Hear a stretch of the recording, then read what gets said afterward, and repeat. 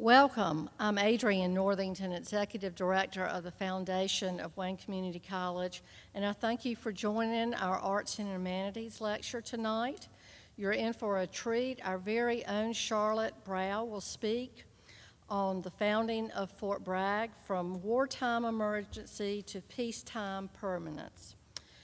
For a little housekeeping tips, um, please use the chat feature located in the bottom right-hand corner to ask questions, as we will have a time for question and answer at the conclusion of the lecture. And at this time, I'd like to welcome Margaret Bedour, who will introduce Charlotte tonight. Margaret is a valuable member of our Arts and Humanities Program Committee, a retired Wayne Community College humanities instructor, and a huge supporter of the arts in our own community. Let me welcome Margaret. Thank you. Thank you, Adrienne. I am proud and honored to introduce my friend and colleague, Charlotte Brow. I knew her when? When she was director of the Charles B. Aycock Birthplace, when she joined the faculty here at Wayne Community College, and when we became colleagues in the Department of Humanities and Social Sciences over in Azalea Hall. Charlotte always has been known for being lovely and cheerful. She was beloved by her history students. She brought history to life for them. She has taken wonderful trips with her husband, Carl Brow, another personality at Wayne Community College, now, now retired from counseling here. Uh, the places they went, like the Hudson River Valley and points across the sea, she carried all over into the classroom. Charlotte eventually became chairman of our department followed by a slew of honors for teaching and leadership, among them the Foundation Distinguished Chair and the George E. Wilson Excellence in Teaching Award.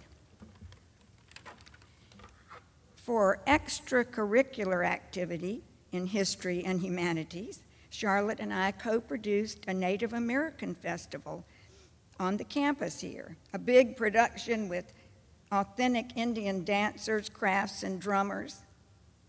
Later, we took a weightlifting class from PE teacher Doug Simmons and survived it.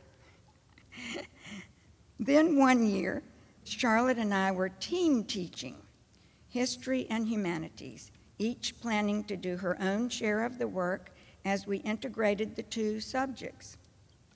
When I found out mid semester that I must have knee surgery, Charlotte ended up teaching both sides of the team, becoming, no doubt, more familiar than she'd hoped with Mozart, Casablanca, Van Gogh, and the cast of Cats. However, she has remained to me ever since, grudgingly, oh, graciously lovely and, and cheerful.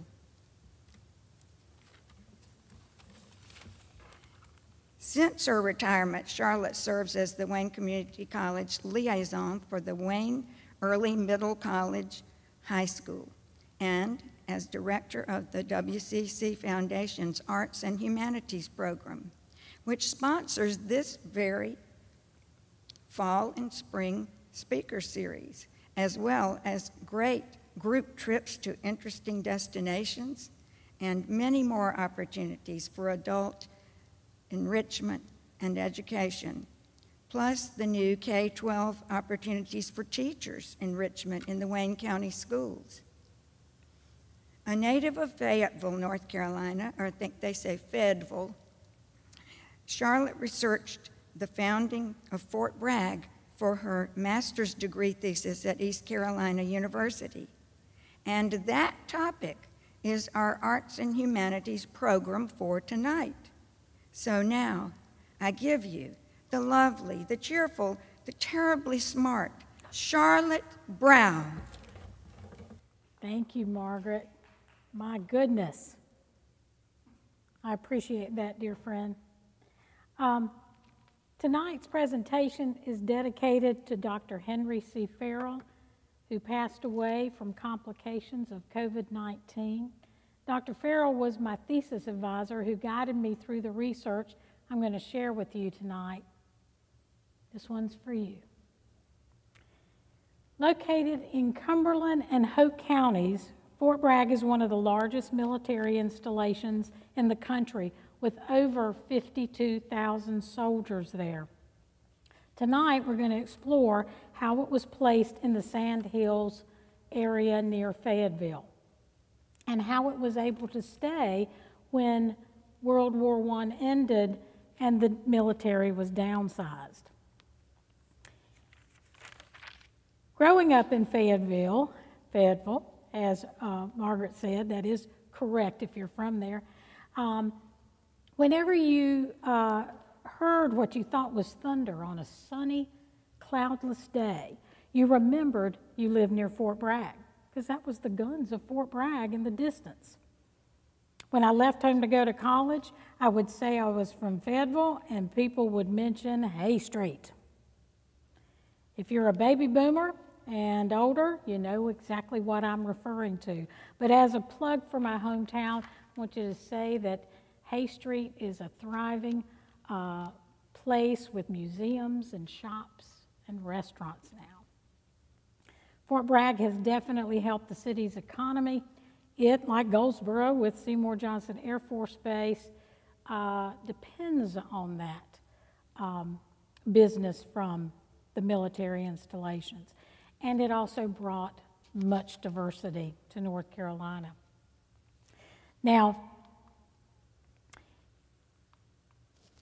Fort Bragg normally, you would associate it being with the airborne and the special operations forces.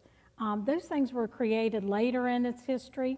I believe it was 1942 when the airborne uh, command was put at uh, Fort Bragg, but you know, paratroopers were not a thing in World War I when Fort Bragg was established. And special forces would come along in the 1950s. But what ends up creating Fort Bragg, founding it, is the importance of field artillery in World War I. Tactics, especially um, revolved around it on the Western Front in Europe during that fighting. Not only was the importance of um, artillery one of the reasons it would be founded there, but it was location, location, location. The land and the nearby amenities were paramount to its placement.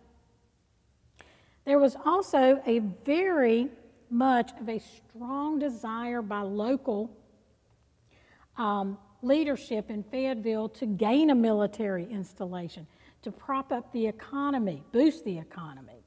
And the local leadership had excellent allies in Congress and the U.S. Army and sometimes the War Department. But it's going to be founded in 1918, uh, not too long before the armistice, when World War I ends. So the, the rest of our story is going to be how it's able to stay a permanent base. And boy, the times were a changing. The Great War, or World War I as we call it, began in 1914, and Woodrow Wilson, our Democratic president at the time, had no intention of getting us into the European conflict. As a matter of fact, he said we're going to be neutral to the Central Powers and the Allies, neutral in thought and deed. However, people like former President Teddy Roosevelt and General Leonard Wood called for something called preparedness. They said we needed to be ready because we would be entering this conflict. And events began to involve the U.S. more with Germany in a negative way with the sinking of the British passenger liner, the Lusitania, in 1915. That's where a German, you probably know the story, a German U boat torpedoed the ship and it sank quickly with 128 Americans um, died. with about 1,200 others um, as well. This was new warfare. World War I would be introducing submarines or U boats, uh, as the Germans uh, called them, that would, would use stealth in order to sink ships. The U.S. sent a strong denouncement to tell them to refrain from using that type of warfare against passenger liners and non combatant ships. Um, they did it again, sunk a, a French uh, steamer named the Sussex, and then Germany pledged that they would never do that again. They did not want the U.S. to enter the war. But because of that, this, and the, this kind of strained relationship with Germany, Wilson decided to go ahead and sign the National Defense Act of June 1916. And it expanded the size of the Army and the National Guard, it would by 1917. So they were preparing.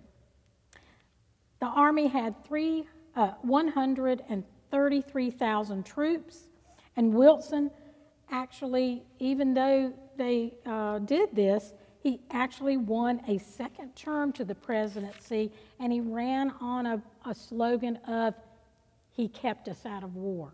It's not promising he's going, going to, but he kept us out of war. So he's reelected. And then it's a good thing he didn't keep that uh, a promise of not going to war because in early 1917, the Germans decided to resume attacking non combatant ships and even neutral ships to try to end the war quickly. They wanted to break the supply line to Britain from the U.S. Their foreign minister also got involved in some intrigue by sending a telegram to Mexico to the German minister there asking that German minister to request that Mexico go to war with the United States if the U.S. declared war on Germany. Well, both those things, the Germans breaking their pledge and the Zimmerman telegram, caused Wilson to ask Congress to declare war on Germany in April of 1917. Shortly after we enter the war, Congress passed the Selective Service Act, and there, it would create a draft force of 500,000 men. So that's a major increase, isn't it? By the end of the war, we would have millions in the service that either drafted, were drafted or volunteered.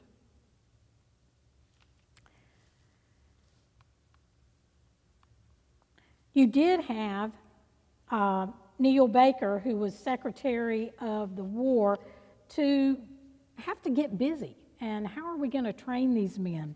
And so um, the War Department uh, was going to create 16 cantonments, military installations, military garrisons, and 16 tent camps so that they could train all of these new recruits. These should be located in the South, to allow for year round training, and the tent camps, of course, needed milder winter temperatures, didn't they? Baker instructed, um, he would instruct General Leonard Wood, one of those who wanted preparedness, who was in charge of the Southeastern District, to find sites for those camps. But Baker would give the final approval. Now, Wood would uh, need to condemn the land and find areas where they could limit this. I love this. Uh, Baker said, You've got to find places where they can limit the sale of alcohol and there would be no houses of ill fame near the base. Good luck with that.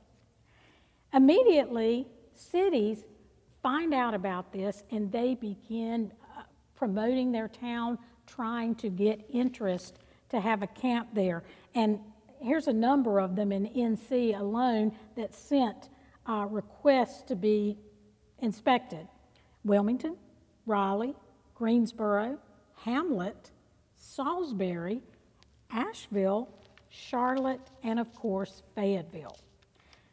Congressmen of those districts joined in supporting the towns of their district, and Hannibal Godwin was uh, the congressman of the 6th district uh, that included Cumberland County. He, he was from Dunn, and he was uh, definitely interested in presenting that request to the War Department. All of these towns wanted the business that a camp would have nearby. And we in Goldsboro certainly understand that, don't we? And let's talk just a little bit about Fayetteville that put its name in the, in the bag there. Fayetteville dates to 1783. It's an old town. It uh, formed when you had two communities, Cross Creek and Campbellton, come together and, um, and form that town. So it, it's formed right, um, you know, 1783 before the, the ratification of the Constitution.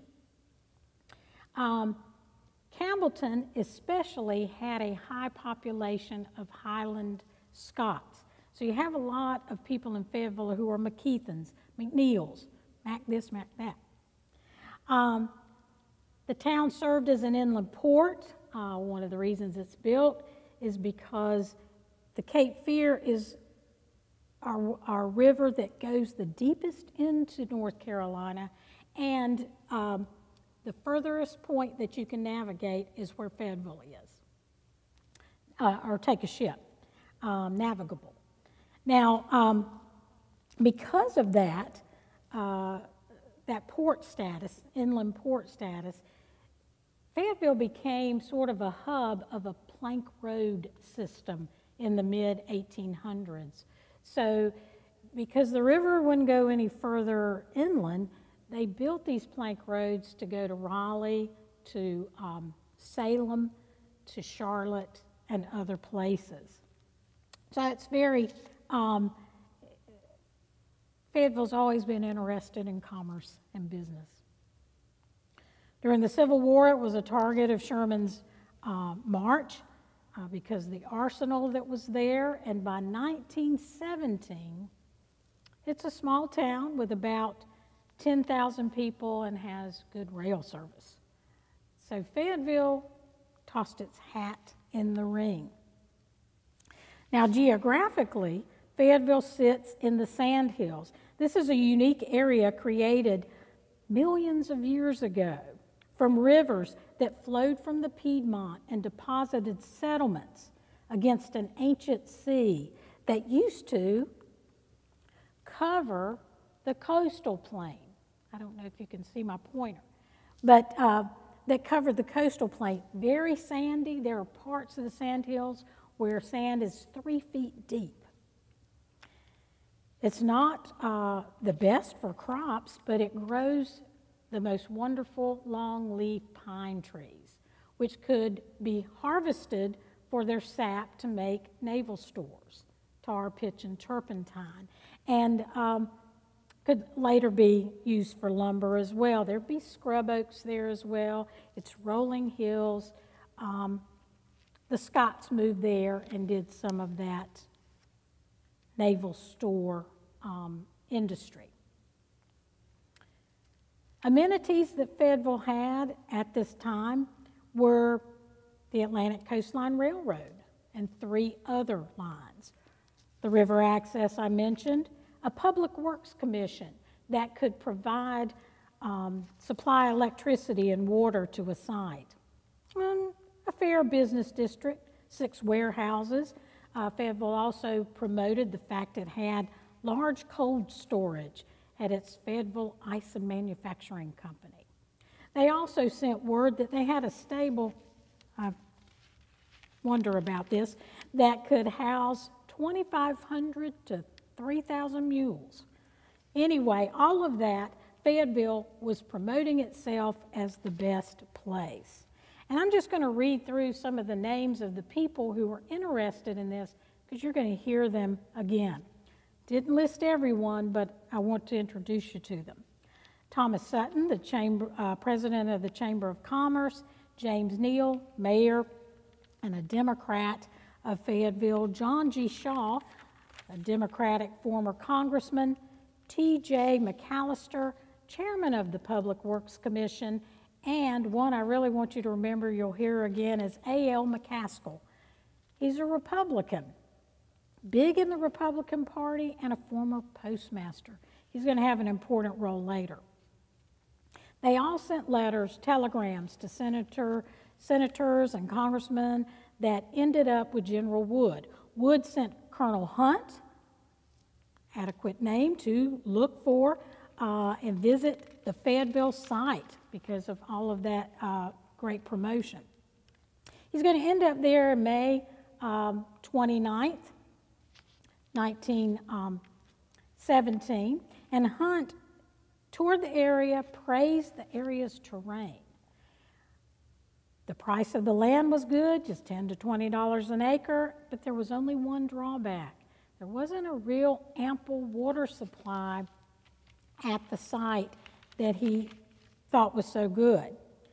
The Army Corps of Engineers, a Colonel Ladue, and Wood would decide to come and check out this praised site.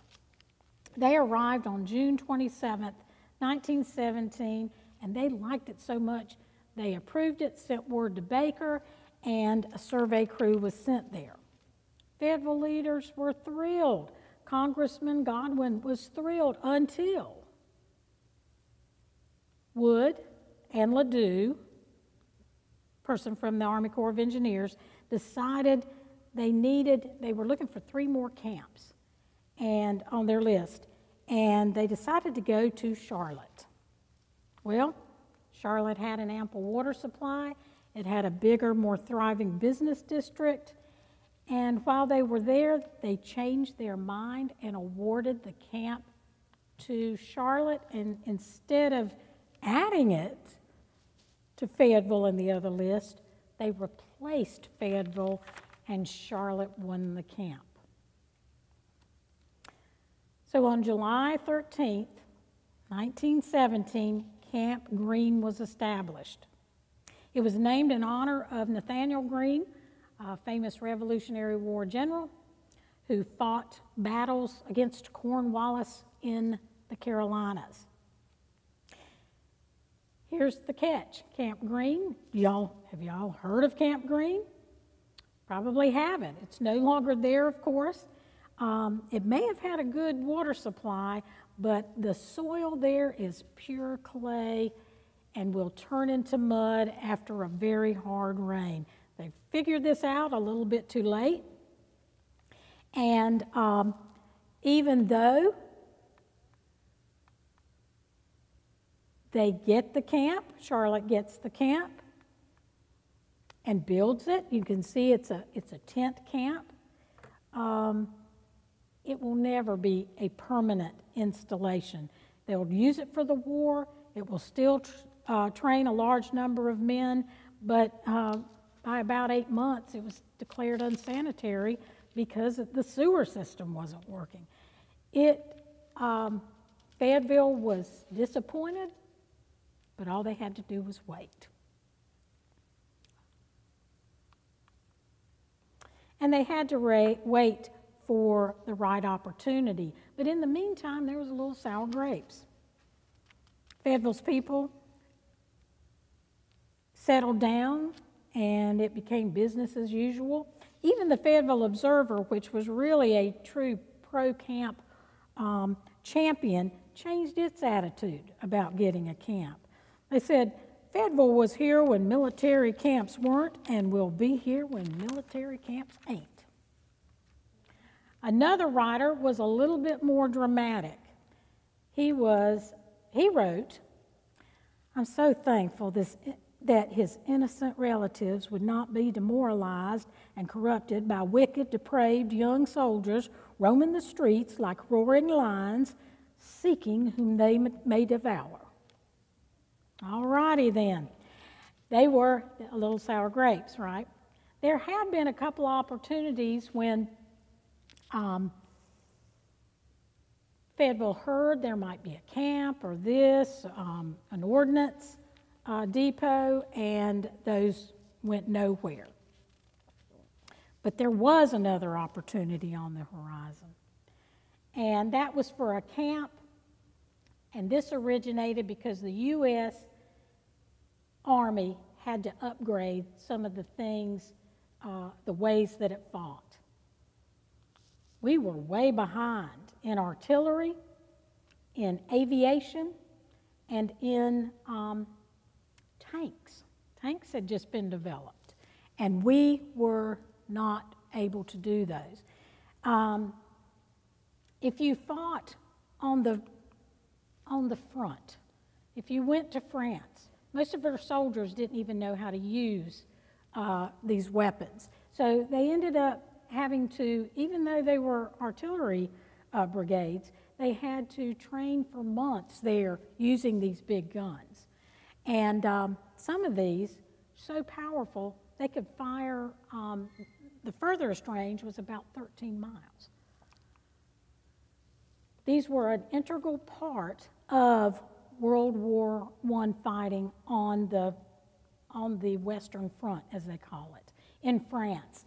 Um, what would happen is the artillery played such a role, it would be used to um, fire on the enemy, pound them into uh, submission, and then send their troops out of a trench. Trenches were the only thing that could protect you, and they would charge the enemy.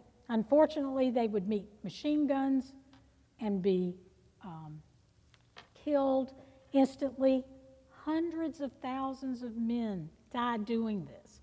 The artillery would fire, there would be a charge, following charge, and it, uh, the only thing that could protect you was the trenches that they hid in. Um, so the artillery was an integral piece of these tactics.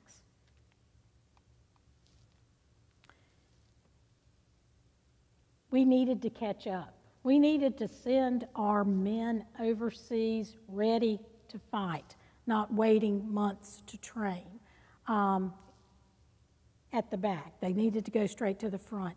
Enter General J. William, excuse me, enter General William J. Snow. He's the first chief of the field artillery. The name or the title had never been there. And he led a change to try to change the um, artillery brigades uh, and, and, and train them separately from the infantry units that they were connected with. Because what would happen at Fort Sill and other places is the infantry would be doing maneuvers and the artillery would be sitting around. And he said, No, you need to be constantly practicing. I need huge target areas and ranges where they can maneuver and fire, firing grounds, and um, that wasn't happening. He wanted qualified instructors, um, but you get what he's saying. I need adequate grounds for maneuvering and firing.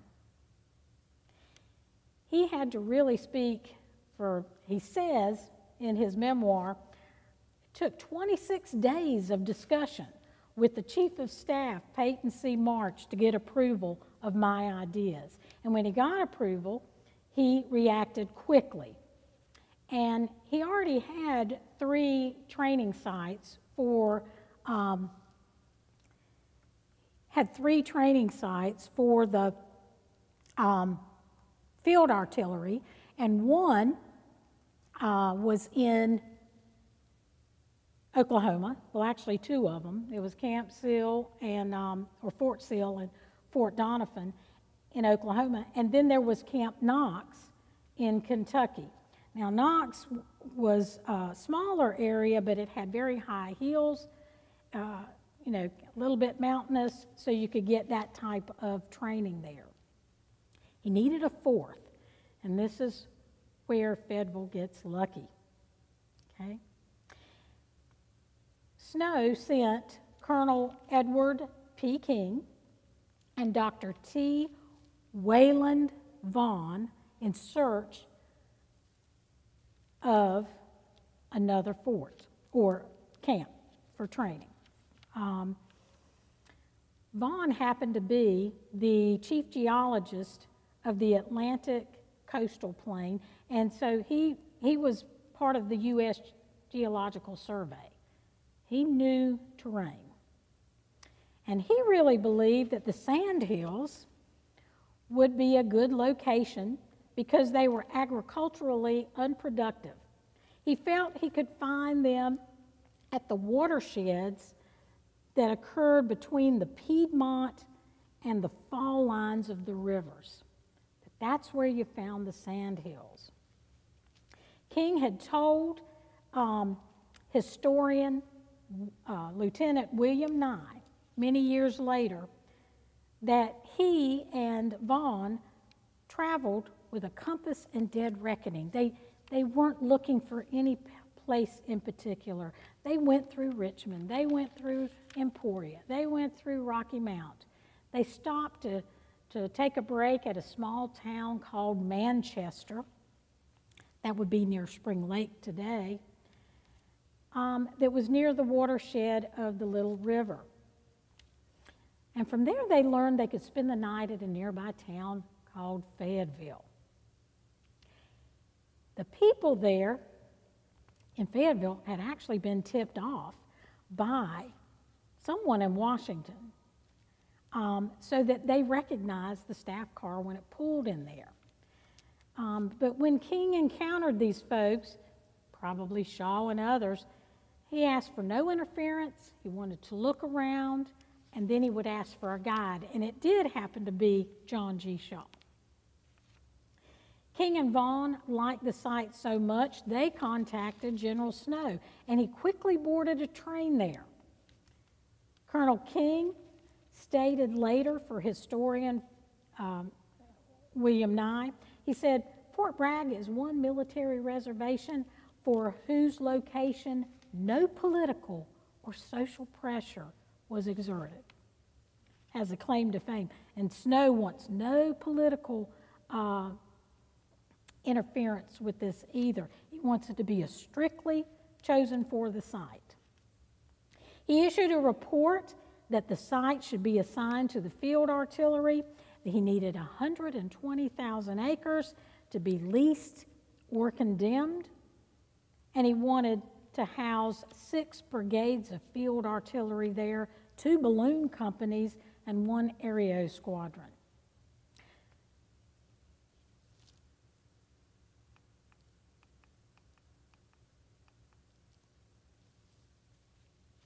The War Department approved the site, and Congressman Godwin received the news even before Snow's report was submitted.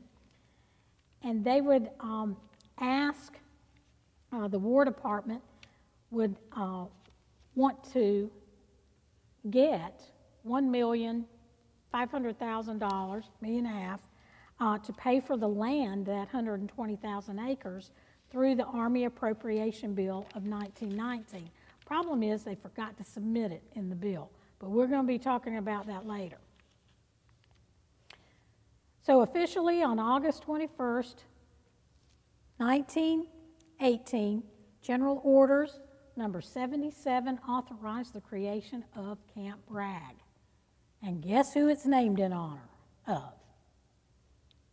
Captain Braxton Bragg, who, while commanding the Battery C, 3rd Artillery, rendered signal service to the Battle of Buena Vista, Mexico. He was chosen because of his heroism commanding the artillery at that famous battle. He was not, uh, his name was not chosen because he was a Confederate general. As a matter of fact, the order did not even mention Bragg's subsequent career in the Confederacy. And this is something I find very interesting about Snow. Snow wanted to name it Camp uh, Bragg because the name was short. There was a camp out there called Camp Zachary Taylor. So every time they typed a memo or anything, any paperwork, Camp Zachary Taylor, all of that work. He wanted short names. So for the field artillery uh, camps, Camp Knox, named after Henry Knox, the um, artillery expert and, or, you know, artillery officer under George Washington, um, and then Bragg for North Carolina's camp. Construction began on the site. Um, they had to contract workers. So many people are being, you know, in the South it was hard to get laborers, and so many people were being drafted. $13 million was designated for construction. They had to actually get workers from Puerto Rico and Cuba to come and work there uh, because there was such a shortage. And this was also during the time of the Spanish um, influenza pandemic.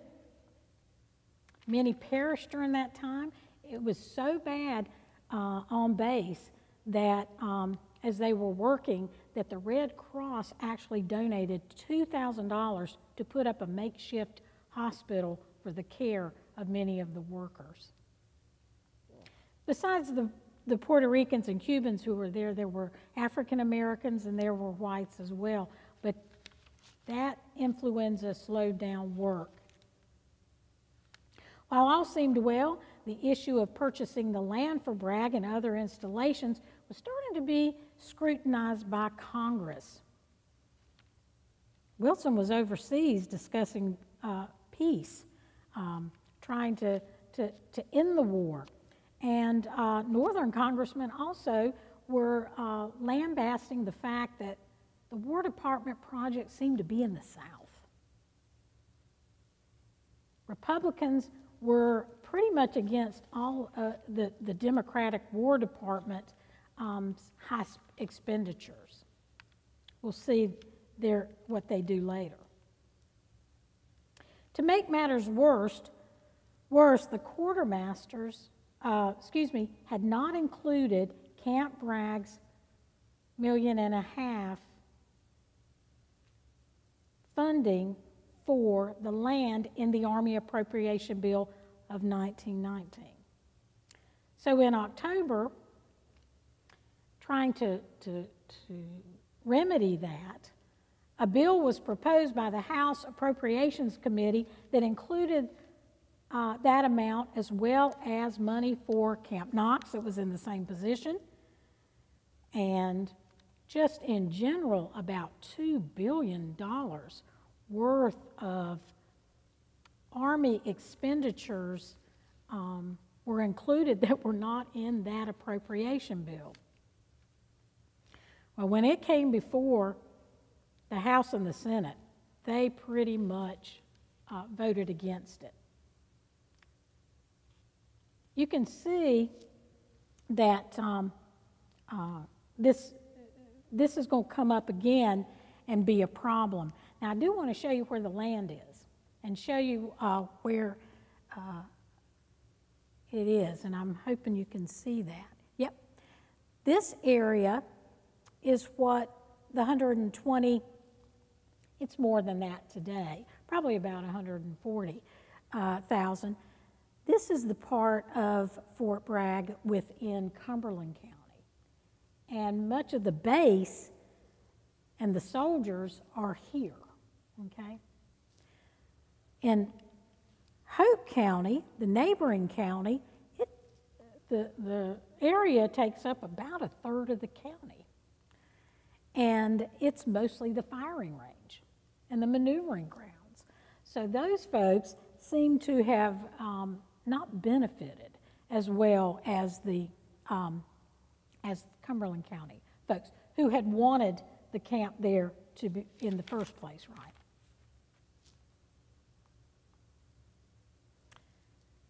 This is, of course, showing it all laid out. Again, I don't know if you can see my pointer here, but there are many roads. There's some that are still called plank roads um, running through the base. There's, um, and the county line is here, I believe. Mostly, a bigger chunk of the land is in within Hoke.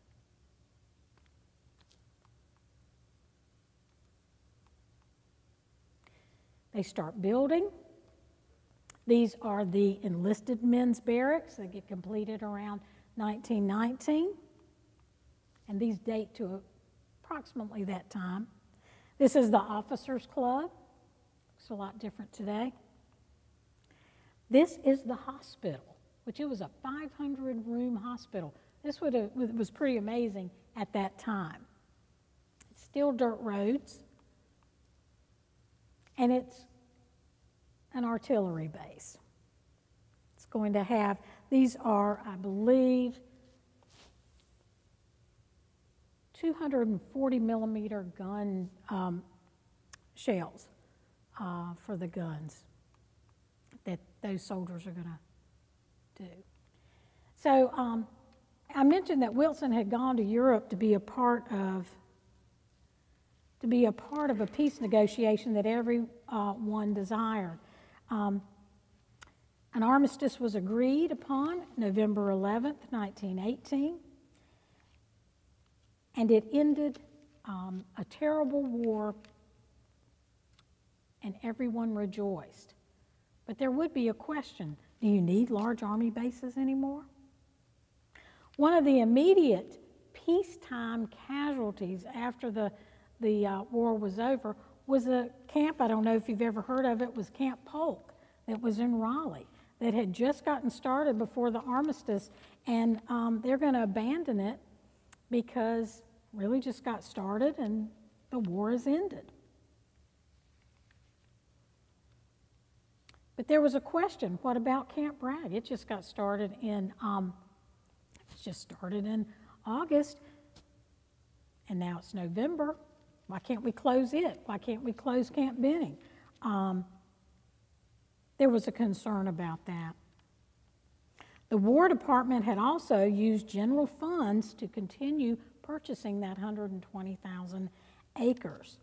They also used general funds to purchase acreage at Camp Benning in Georgia. This was a um, training ground for small armed infantry and very large area. Uh, that had gotten created close to when the, the war would end. So there was a concern. All these general funds were used to continue purchasing land at Bragg, Benning, and Knox without a special appropriation for it. After much criticism from some congressmen, Secretary of War Baker met before a House and Senate Military Affairs Committee who did not recommend stopping, you know, they didn't say stop purchasing the land, and they didn't say we approve of you continuing to purchasing the land. So since they got a mixed signal, they just kept purchasing. And finally, the War Department uh, issued a formal announcement March 21st, this is 1919, that the three camps in question, Benning, Knox, and Bragg, would continue. By May 1919, we see all of the, um, the things that I just showed you. Basically, everything was ready um, for the uh, camp, except maybe a few finishing touches on the hospital. Two months earlier, they had developed a flying field, which was named Pope Field. Later would be Pope Air Force Base. Um, Pope Field for a First Lieutenant Harlan Pope, who crashed in the Cape Fear River months earlier, and they named the field after him. So everything seemed like it was going well, but Republicans ended up, because of people's war weariness, they were elected um, and took over the House and the Senate in 1918. They were ready to get to the budget in order. They were tired of seeing the War Department and other war spending taking place.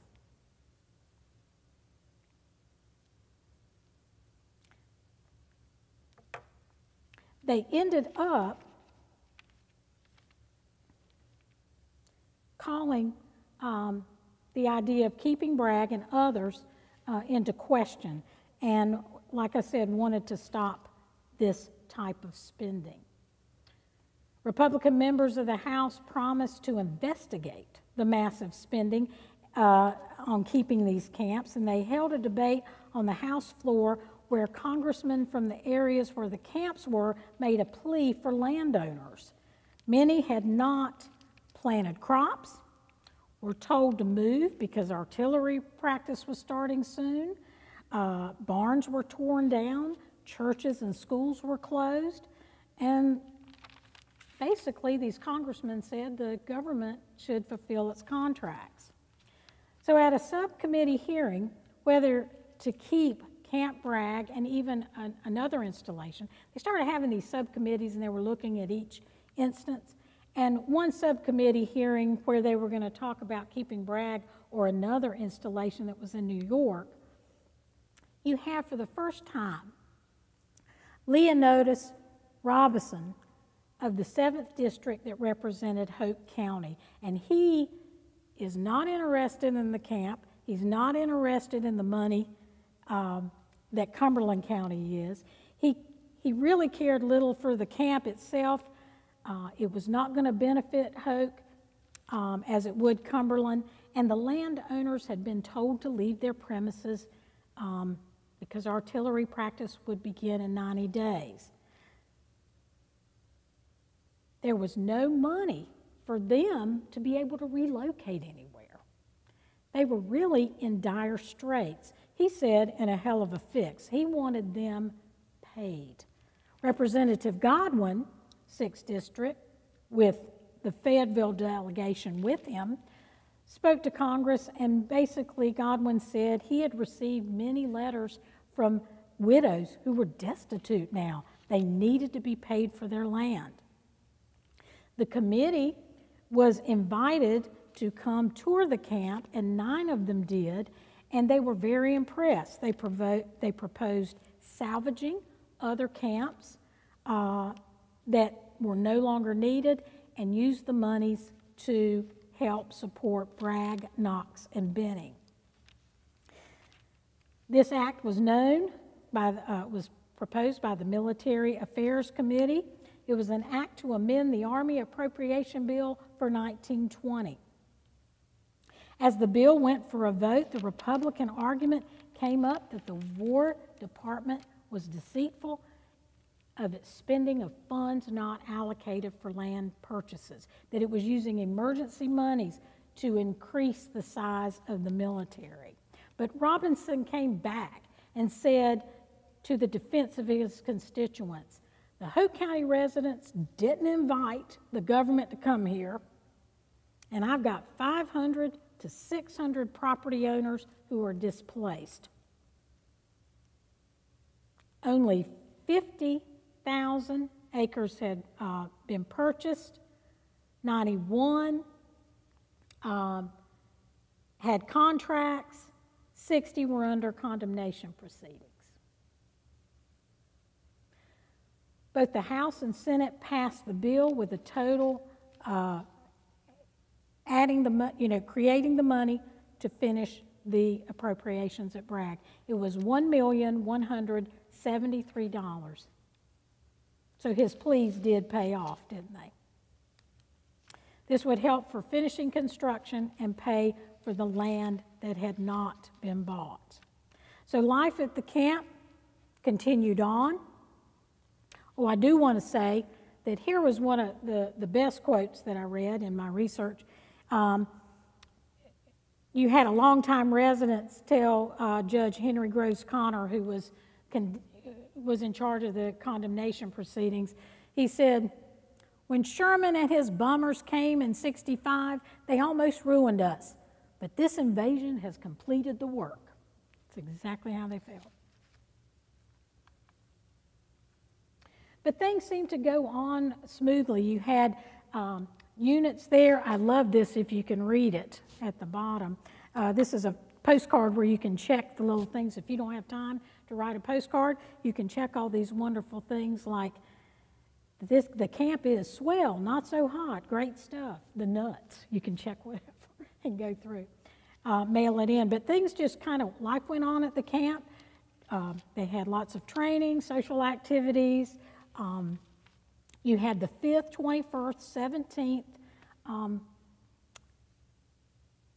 artillery brigades stationed there. It also uh, started training National Guard artillery units. It became a recruiting station for the Army as well. And then you had this man come. Colonel Albert J. Bowley comes to be commander of the fort um, November 25th, 1920. You talk about an exemplary leader, and he had commanded three of the units I had just mentioned. He would be the best friend to Bragg. He quickly um, started learning about the fort and the area. He um, asked uh, Peyton C. March, the chief, um, chief of staff, to come inspect it. General John J. Pershing, he um, asked them to come and inspect it. And this is what uh, Pershing said after his visit. He really praised Fort Bragg, or excuse me, Camp Bragg. He said, For the extent of the firing grounds and the veil uh, of the terrain are unusually superior. It is doubtful if this reservation could be duplicated anywhere within the United States for any reasonable amount of money. All seemed well until there was a new president in the White House who appointed a new uh, Secretary of War, John W. Weeks. Weeks had supported Warren G. Harding for president, and um, he ends up getting the task, the onerous task, of downsizing the War Department in peacetime. He had been, uh, he had served on the Military Affairs Committee and had listened to many of those arguments that I just talked about.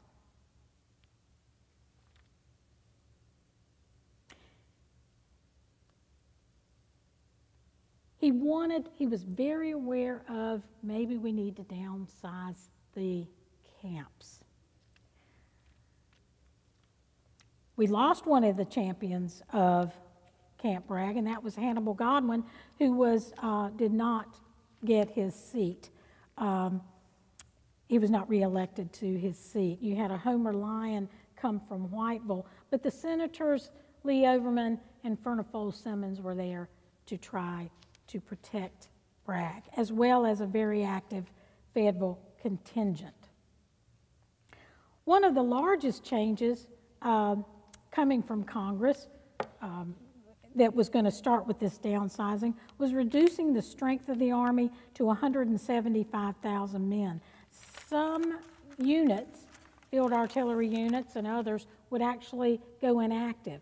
Uh, they'd keep the name in case they needed to reactivate them later and keep their historic integrity, but there was a true downsizing. And they started listing camps they wanted to close. And guess which one is on that list? Okay? Camp Bragg. All right? Republicans uh, had blamed Democrats for the failed peace and unauthorized war expenditures, and Weeks was going to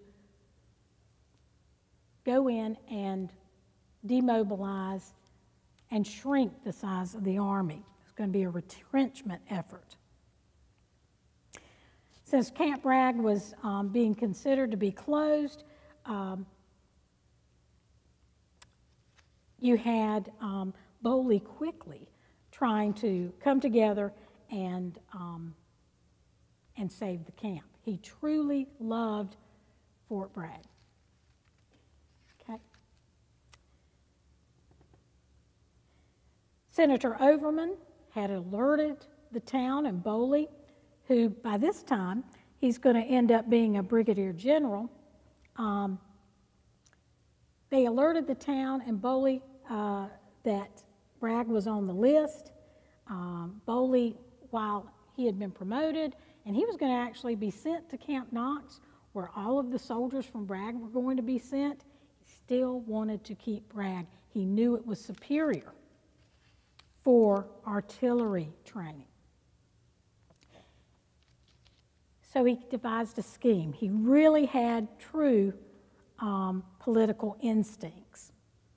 And so what he did was he said, first of all, we've got to, um, we can't have any Democrats involved in this deal.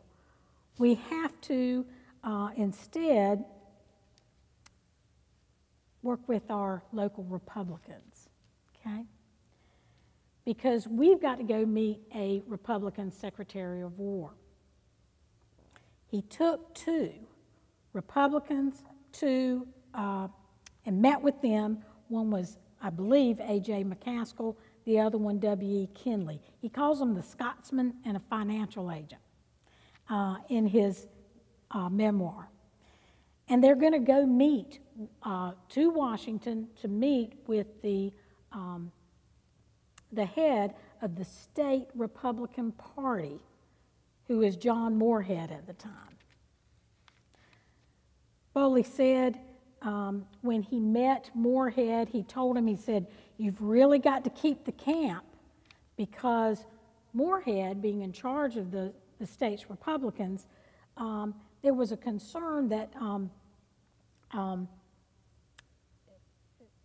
that Marion Butler, who was a very prominent uh, Republican in the state, was trying to take over, get control of the party. And even though North Carolina was truly a Democratic state, there was one thing that uh, the Republicans had. They had 26 votes out of North Carolina that would be at the Republican convention. And so Bowley said, You have got to help me keep the, the camp. And if you don't, it's going to look bad, and Marion's going to take over the state Republican Party. They felt like those 26 votes that North Carolina had that Secretary of War Weeks wanted. And so, um, because Secretary of War Weeks was being schooled, he, uh, Bowley thought, for the presidency in the future and would like those votes. So Morehead asked the two other Republicans, uh, two other prominent Republicans, to convince Weeks to meet with the federal delegation. So you had Bowley, McAllister, Kinley, um, and Morehead that are going to go meet with Secretary Weeks to try to save the camp. When General Snow, who wanted nothing political going on, heard about this, he promptly left town. The delegation met with Weeks on August 11th, and the Scotsman literally had to ask Weeks as a personal favor to talk to Bowley. I don't think uh, Weeks wanted a, an officer in there. But Bowley comes in and says, Look, why don't you come to Bragg and see for yourself what a great place it is? And then John Morehead told Weeks, Please don't, don't do away with the camp until you've at least toured it. And this is one of the uh, uh, interesting parts of the story because Bowley made sure every detail was perfect when Secretary Weeks and a General Harbord decided to come to Fayetteville and tour Camp Bragg. They arrived September 11th, 1921, and they put on a grand tour. Um, first of all, Bowley hired the best uh, cook and waiters in Fayetteville to serve them breakfast. Um, he set up a huge uh, map that he went over at the base and, and told them all about what they were going to see. The three uh, went touring in these big white cars uh, through the base. They had already prepared the roads, uh, fixed any kind of bridges, and, and, and that type of thing, so it would be a smooth ride. They equipped, I love this, they equipped the big white cars with thermoses and drinking cups and first aid kits and boudoir tissue. The town actually, uh, excuse me, the tour uh, went on all around Camp Bragg, but it wasn't too exhausting to wear them out. And Bowley made sure that they stopped by a lake where there was a, a pig being um, prepared, a barbecue, and uh, they had a nice lunch. They got back in, they were touring. They um, stopped uh, and watched a polo match. The secretary had never seen one of those, uh, so he was pretty impressed. And then they ended up in the evening at one of the oldest, finest houses um, in that area served him a good mint julep and a fine dinner with scuppernong wine. I love the details. And then decided to get down to business.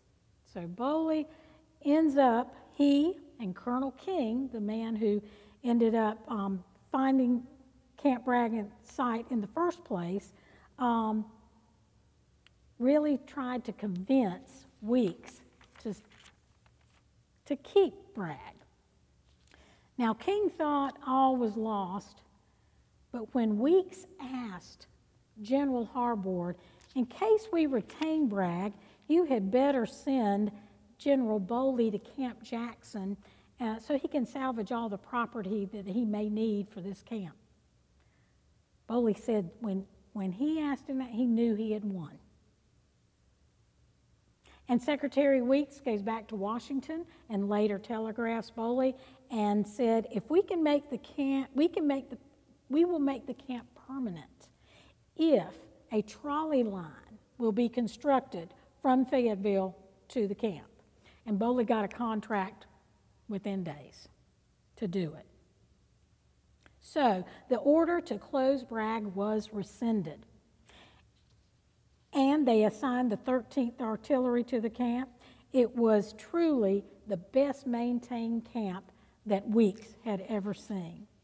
When news got back to Fayetteville, they cooked a thousand pounds of pig, and the town celebrated um, with that news.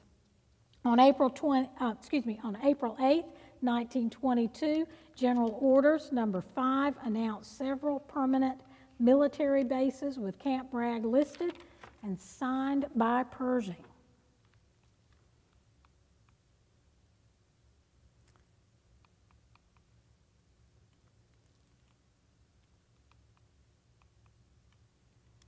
I'm moving, moving ahead of my slides, I see. Um, that rail line opened August 19th, which was wonderful. And then on September 30th, 1922, Camp Bragg became Fort Bragg.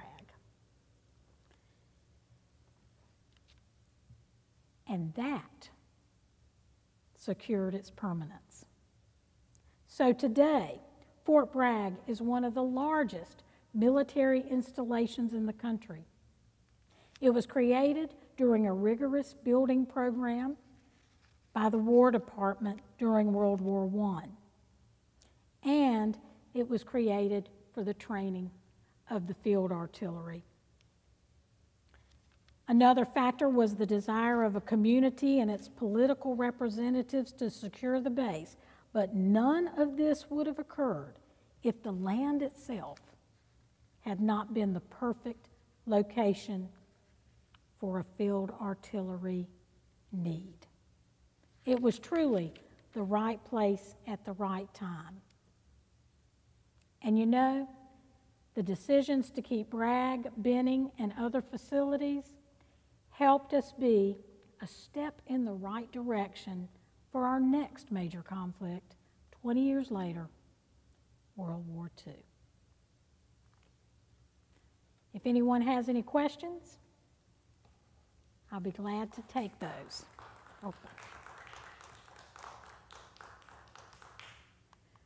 I did get ahead of myself. I will say that this is uh, Secretary Weeks. Um, it was such hard work for him uh, as Secretary of War, trying to, to, to, you know, go through sort of a retrenchment of the military. That about 1925 he had a stroke and uh, had to stop service, and um, I'm not sure if he eventually died after that. Um, but this is what they were concerned about. Look at the, look at the amount of expenditures going on. And this is 1919. So um, look at how much our federal budget had been before the war. Just kind of amazing. Any questions? Yeah, just a couple of things. Thank you, Charlotte. Um, who was the land procured by? I mean, from, I'm sorry. Was it Fayetteville, the counties, were, were there landowners that it was bought from? The land that Camp Bragg was originally built on. Who owned that land? Who owned, Who owned that land? who owned the land that Camp Bragg was eventually? uh, Yes. was- Um, as far as where the base itself was, I don't know who owned those tracks. Um, but, um, when they did the, they, they assumed it was about, in the early days, they thought it was about hundred and seventy, um, families. But then they get into it, and there's intels, uh, there's um, minors that have parts of property, you know, all of this. Um, and they ended up with like about 500 or more um, owners. But no, I don't know. Um, there, there, is a, there is an interesting um, owner, and that is the Rockefellers, owned a preserve called Overhills. That was um, a big chunk of the Hoke County part. Of course, you know, that's near Southern Pines and all that's a resort area. Okay, so the Republicans were worried about all the money being spent, but yet at, in the end, they fought. They were the ones that fought to keep the base. Is that correct?